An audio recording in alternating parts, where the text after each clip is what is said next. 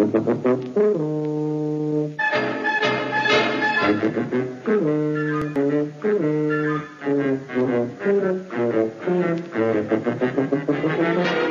BBC presents Tony Hancock with Moira Lister, Bill Kerr, and Sidney James in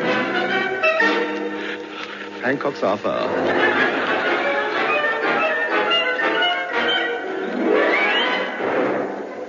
One of the biggest items in the cost of living today is the general upkeep and repairs of one's place of residence, especially when the house is an old one. Consequently, at Tony Hancock's house, there's enough work to keep 30 full-time laborers in employment.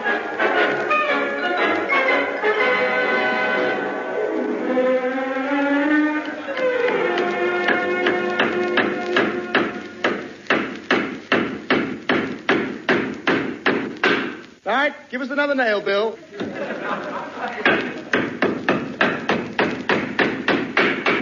There you are. 63 nails in that lot. That should hold it. How does it look? Very nice. But there must be a better way of putting wallpaper up.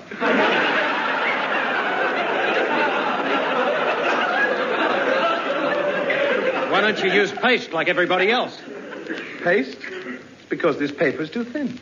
The paste would soak right through it. We wouldn't be able to read the headlines.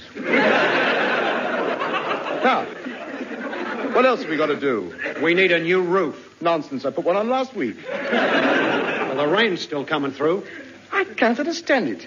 You wouldn't think rain would get through cardboard that thick. I mean, it's, it's the same stuff I sold me boots with. Well, come on, let's get on. Wait a minute, wait a minute. What about the big hole in the dining room wall? Don't you dare mind the hole. I want to spend a quiet evening at home tonight, watching next door's television. Come along now. Bring your ladder into the front parlor. The ceiling needs doing up. Now, we've got to be careful with this ceiling. I've been expecting it to fall down ever since last Tuesday. Why? That's when the walls collapsed. The front door. That must be Moira. Not so hard!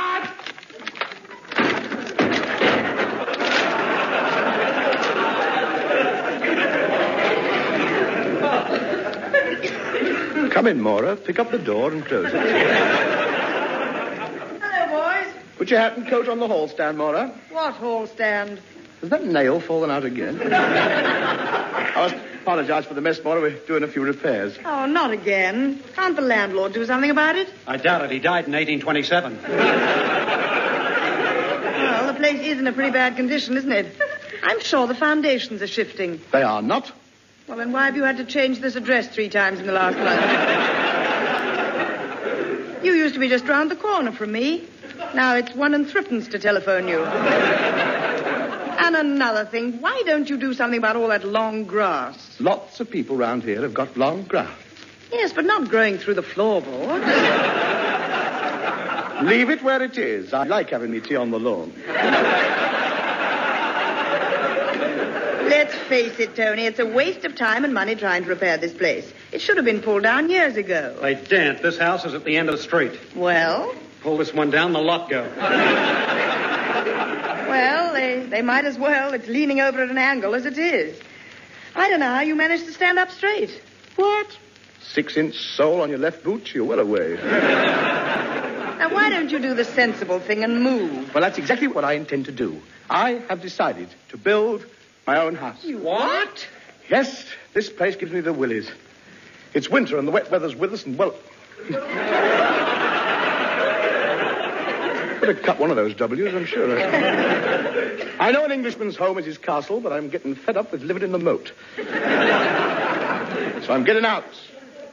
To build my own little house. Oh, that sweet little home in the West. Now, wait a minute, Tub. You can't build a house just like that. There are a lot of things to be considered. You've got to get plans drawn up by a skilled architect. I'm not bothering with all that nonsense. I've designed it myself. Like that bloke, Christopher Waff. Wren. Bad, it's dear enough. I've got the plans here. There you are. Have a butcher's at that little lot. That's a picture of how it'll look when it's finished. Oh, yeah? And you designed this all by yourself? Well, not exactly. It was my idea to tear it out of the book. anyway, that's what my house is going to look like. But, Tony, this is Buckingham Palace. I realize that. I'm not an idiot. Thank you all. I repeat, I'm not an idiot. I realize I can't build it exactly the same as this. Naturally, I'll have to leave a few things out. Such as? Well, them sentry boxes can go for a start. Tony, you can't build a place like that. It's got over 500 rooms. We can take in lodgers. I've worked it all out, you see. I'll need a few bricks, a couple of sacks of cement, half a yard of sand, bucket of water, and everybody stand back. Has it occurred to you that to build a place like this would cost over a million pounds? I'll have to start saving up, won't I? see, I can cut down to six meals a day and... Oh, Tony. Tony, be sensible. It's a very natural thing to want to build a house of your own. But you must be practical about it. You must build something you can afford. Yeah, put a door in one of the sentry boxes. Why don't you settle for something nice and discreet? A little bungalow, perhaps? Oh, yes, that's it. A bungalow. I can just see it. I won't have stairs. I'll, I'll have a lift going right up to the top floor. I'll just... Tony. Tony, this may come as a shock to you, but a bungalow has nothing upstairs. Perfect. A house reflecting his own personality. Now, listen, you Australian layabout. Now, boys, please. What about this bungalow? Yes, I'm, I'm sorry, Moira. When do we start? Well, you can't start yet. You have to buy the plot of land first. Yes, of course. Must have land. What a pity Father had to sell the estate. Just thrown in for good measure. land. Where can I get some land from? Wait a minute. I know the very guy. Oh, yes, who? Well, just about the finest estate agent in the business, that's who. Oh, no. Not. yeah, No. Sid James. I might have known it. And how long has he been selling land? Ever since he found out how many people are buried every year. Well, you can just think of someone else, because Tony's not buying any land from him. No, I am not. Why not? What's Sid ever done to you? Tell me. It would be a pleasure, but the BBC closes down at midnight. No, Bill, I can't understand you. You're the only one who doesn't see through him. Yes. Look what he did to me last week. He sold me a hundred silver-plated cigarette holders for 15 quid. Well, That's a lot of money for a packet of pins. Listen, you can forget, you can forget all about Sidney James. I think you're being very silly. Sid sells his land cheaper than anybody else in the country. Well, there must be something wrong with it. He's got thousands of acres all up and down the country. Yes, I bet it's that little strip that runs in between the railway lines. Look, Tub, the least you can do is go down to his offices and see what he's got to offer. All right? All right. Seeing as I'm desperate for some land, I'll give him one more chance. Look, all you've got to do is beat him at his own game. Me. Of course. Sure. You. Brilliant, yes. You can do. Why, you've got more brains in your little finger than he's got in a. Uh, You're too kind. Look, be more astute than he is. Me, Use more that, astute. that high-powered business uh-huh. brain of yours. Yes, a typhoon or a tycoon. That's it. That's me. Good lad. I will. That's it. I'll battle him with figures. Einstein Hancock. Come along.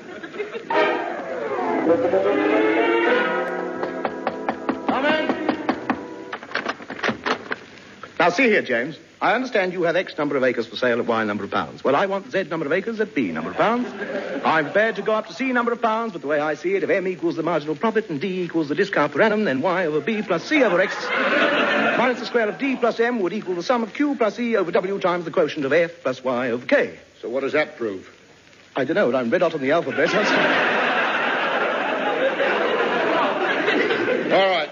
Now let's get down to business. What can I do for you? Tony's looking for some land to build a house on. And you've come to me. A very wise decision. I've got some of the finest land that's ever been reclaimed. now, whereabouts did you have in mind? oh, I'm, I'm not fussy. What have you got? Well, let's have a look at my maps. Ah. Oh, yes, here we are. Mm-hmm. Now, this, this lot here marked in red, Yeah. that's 2,000 pounds an acre. Yes. This here in green, mm-hmm. 1,500 an acre. Yes. This lot here in yellow, Ah. 1,250 an acre. How much for this big lot in blue? That? Oh, uh, three and six an acre. I love it. I'll build me house right in the middle of it. Please yourself. But you better leave your bedroom light on. Why? The ships might hit it.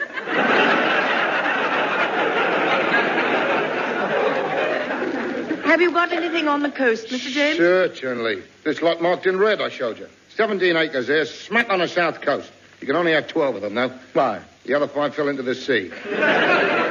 Never mind, Tub. Twelve acres should be enough to build a house on. Of course. And not only have you got the land on top of the cliff, you've also got the beach right down to the sea edge. That's nice. And it's only 2,000 quid an acre. Well, I'll have to get on to be broker about that. Why? I'm broke. Next. Never mind, Tony. Don't worry about the money. I'll help you out with a few thousand. Good girl, Moira. Look, we've got to decide just where we're going to build. Oh, yes. And there's one little point I forgot to mention. I always stipulate that any building done on any land sold by me must be done by a building company nominated by me. Yes, that's fair enough. Which building company do you nominate? Mine. Yours. Yeah. You're going to do all right out of this, aren't you? What is this building company of yours? My card. Why? So you only employ German labor? Do what? Sidney James Jerry Building Limited. All right, we won't go into that. Now let's get down to details. I suggest we build the house on the beach underneath the cliff. It'll shelter it nicely. All right? Sounds Oh, fine. yes, well, I like that. All right. I right. can see that, yeah. Now that should provide you with a very comfortable little home, right up till eight o'clock at night. Well, what happens then? Then you move out. Why? The tide comes in And where do we move to? into the other house, Oh, I see. The other house. the What one we've house? had built on the cliff top. Oh, that old thing. Whose idea was it building that one? Mine. Oh, yes, of course, yes. Yes. You're the man who owns the building company, aren't you? That's right. Mind you, I'm only doing it for your own good. Oh, of course. I mean, you don't want to stay in that one on the beach all night and drown, do you? No, of course not. Well, then, you've got to have another one built on the cliff top, haven't you? Yes, I suppose we have. Well, shut up then. Just a minute. I, I can't afford to buy two lots of furniture. You don't have to. You take it with you when you go.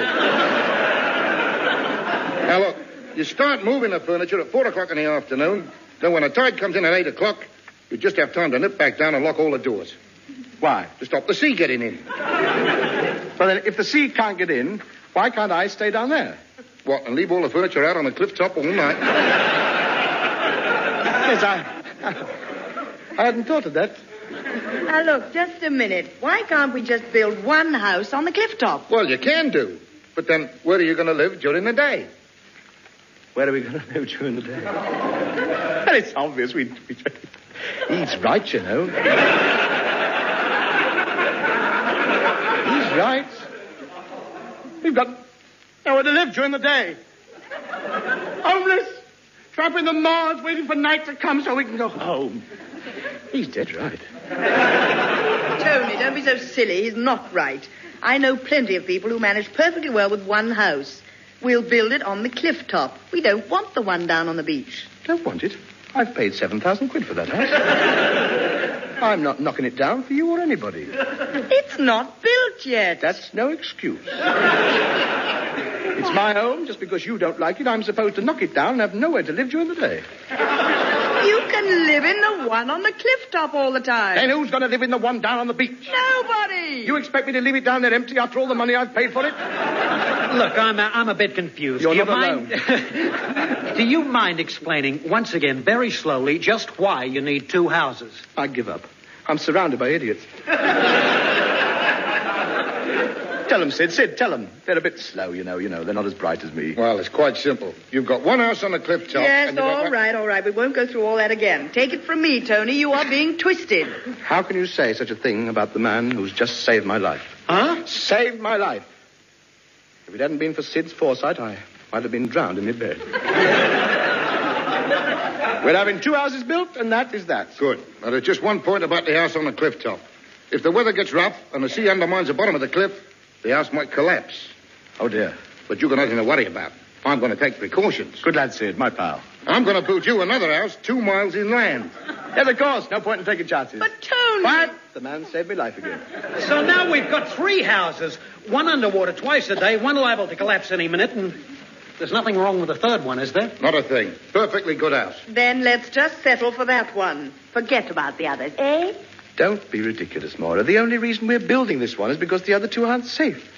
if you don't build them, there's no point in building this one. The reason's gone.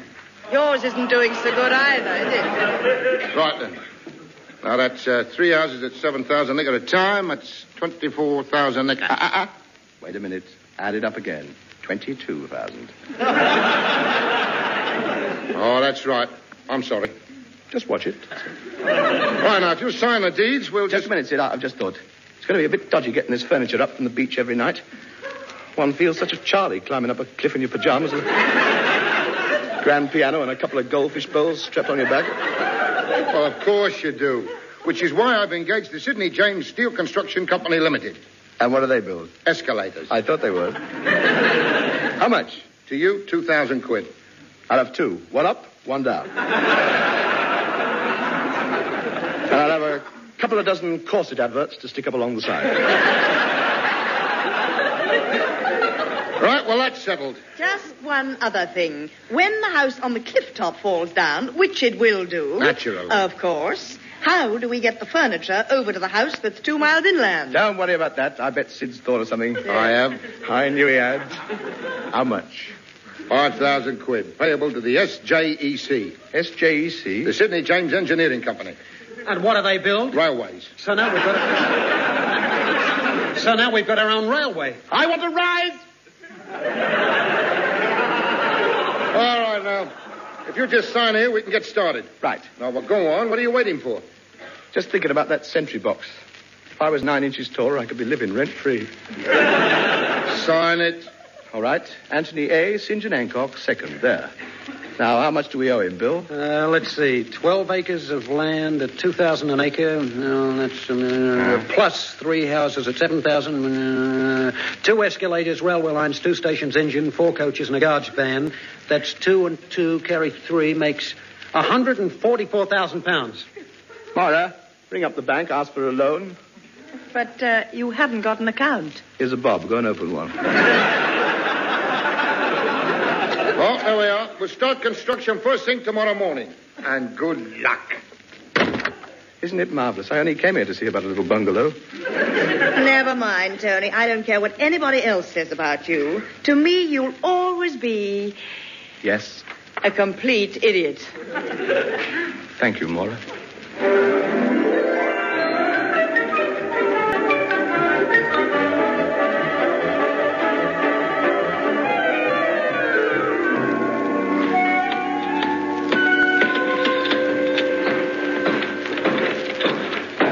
My word, they are getting on with it, aren't they? There's no doubt about it. You can't beat the British workmen. Look at them going it. That's the third brick they've got into position in the last hour and a half. They'll never keep it up. Hey, hey, look out, top. Mind that crane. Don't walk underneath it. Oh, my word, yes, a big one, isn't it? Sorry, Mr. Foreman. That's all right, mate. All right, Charlie, lift the weight. Slowly up. That's it. Swing around now. Gently. Gently, don't drop it, don't drop it. Right, that's it, that's it. Hold it, hold it. Now, slowly down. Slowly. Slowly. Over a bit. Slowly down. That's it, lovely. Another six inches. Down. Slowly now. Slowly, that's it. Perfect. Let it go, Charlie. Now you know why they only lay three bricks in an hour and a half. Surely they can work faster than this. I've got a good mind to complain to the foreman. Don't do that. They'll all go on strike. Nobody would notice. Oh, now be fair, Moira. Some of them are doing their bit. Look at that little bloke over there. They've had him on the go all day. Never stops, poor little devil, mixing away there. Look at him, shoveling it in there. What's he making? Tea. Where did Sid get him from? I don't know, but it's the first time I've ever seen overalls with arrows on them. Hey, look at that carpenter there. He doesn't know what he's going to do for a start. Talk about wasting wood. Every half hour I have to go over and dig him out of the sawdust. It's all your fault, Tony, agreeing to pay them time and a half for overtime and double time on Sundays. Well, what about it? Well, now they only come in at half past five and only on Sunday mornings. It's not good enough, Tub. I've seen some lazy workmen in my time, but shovels with built-in armrests, I ask you. And another thing, Tony, I'd like to know where Sid's getting all these bricks from. I can tell you that. You know he bought half a dozen rowing boats last week. Well, You know that lighthouse over there? lighthouse? Where? Exactly. I wish they'd get a move on. We could build it quicker ourselves. We'll probably have to. Look, the carpenter just switched the light on. What happened? The electricians have come out. Hello, there go the bricklayers. That's all they needed. Mark my words, half the country will be paralyzed before the night's out. oh, well, let's get to work. There's some hard graft ahead of us. This house must be finished. We've all got to put our backs into it. No shirking. Bill, you can lay the bricks. Moira, You're a strong girl. You can dig the trenches. And what, pray, are you going to do? You'll both be needing tea, won't you?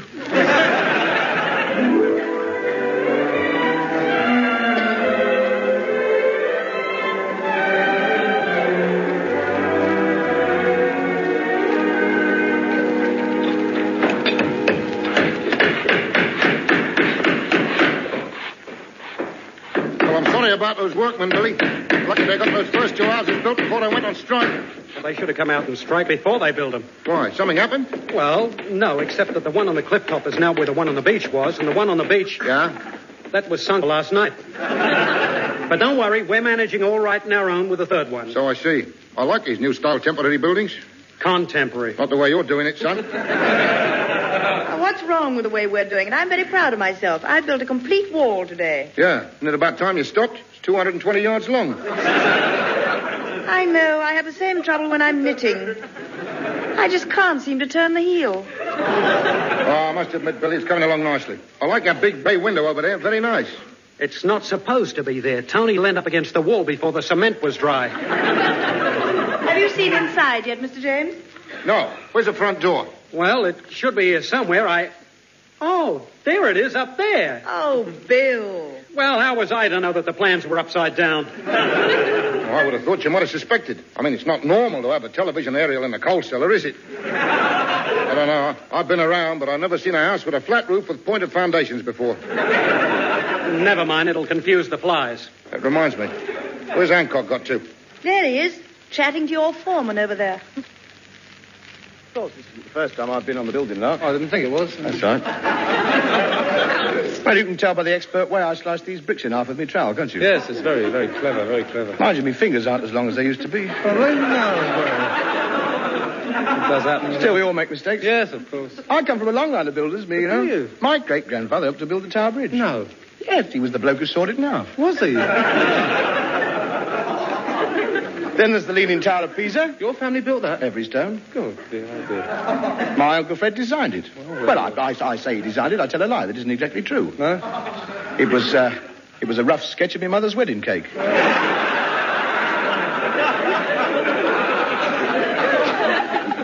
Italians liked it, so we put it up. So tell me, uh, does it really lean? Ah, no, well, strictly speaking, no. No? Between you and me, it's dead straight. Is it? Yeah. Depends how you're standing, of course. Yes? It's the way they hold the cameras. That, what's, that's what does it, you know. That's what, yes. That's what Anyway, my biggest job, that's the one I was going to tell you about. Yes, yes. Just a minute. Undoubtedly, it was the was the fourth bridge. Oh, yes. I That's right. know, It, yes, it, yes. was the fourth bridge. It was. I remember distinctly because the other three fell in. Did they? Yes. Anyway, I was in charge. I decided we'd start building from both sides and meet in the middle. Follow me? Good idea. A good yeah, you're idea. ahead of me. I Yes. see. You're intelligent. Yes. Because you know the fourth bridge. Uh, it's got, it's, it, you know, it's got, got those big arches that go up and down, up and down, all the way Oh, across. yes, yes. I know the one, yes. How those trains ever get up and down those things? I don't know. Still, that's their worry. I was only building it. That's right, yes. I remember. So anyway, there we were. We'd started from either side. Uh-huh. We had a race to see who could get to the middle first. Oh, competition. Well, it's a good thing. Yes, I think is. so. Oh, I'm all for competition myself. Backs things That's up, doesn't it? Pardon? Backs things up. You're overdoing it a bit, aren't you? well, I think so. Anyway, we were going along like a house. On fire. On fire. You should have put that in.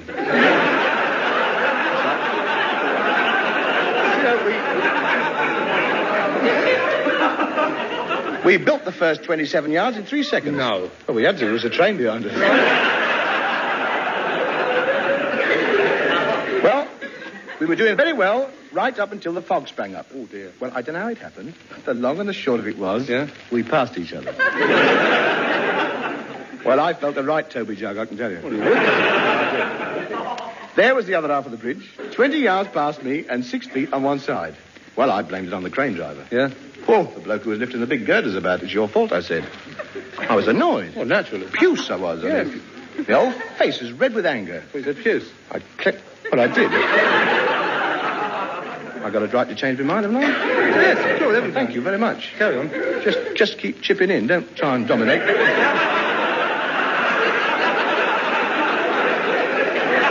well, as I said, my whole face was red with anger.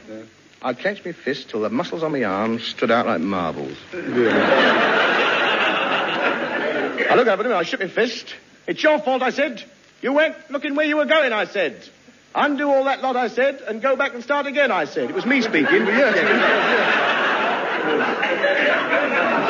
well, I don't know whether it was the authority of my voice or the sense of shame he must have felt, but he did it without a murmur. I should have said he'd done it without a murmur. I'm sorry. It doesn't matter. Grammatical mistake. We can all go wrong. Yes. He could see I meant it. He started his crane up and got going. Because he was eager to rectify his mistake, see? Yes, of course. There he was. I'll never forget it. Never forget it. Just if it was today. Yeah. Swinging his huge crane around like a toy, dead keen. Was it? Yeah. And you know, he, he had a sort of sheepish, apologetic smile on his face. Oh, no, yeah. Just as I walked away, having, having won my point, Yeah.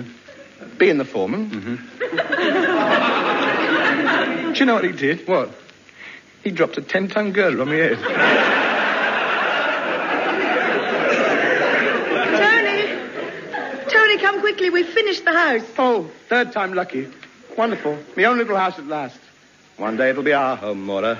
That wonderful golden day when you shyly carry me over the threshold. Where is it? Where is it? Well, it's there. Well, it's, it's right behind.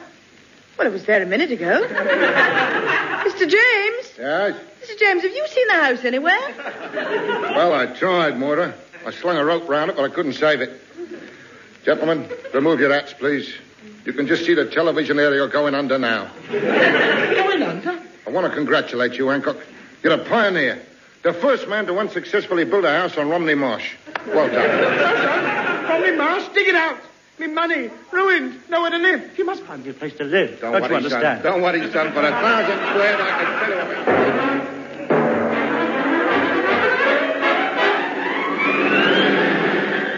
Here is the news. Last night, a sentry box was stolen from outside Buckingham Palace. Will the thieves kindly return the sentry? And if anybody can give any information, please communicate with Scotland Yard.